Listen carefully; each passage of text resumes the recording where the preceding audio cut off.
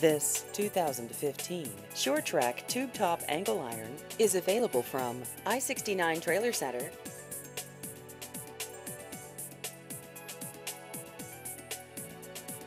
This vehicle has just over 2,000 miles.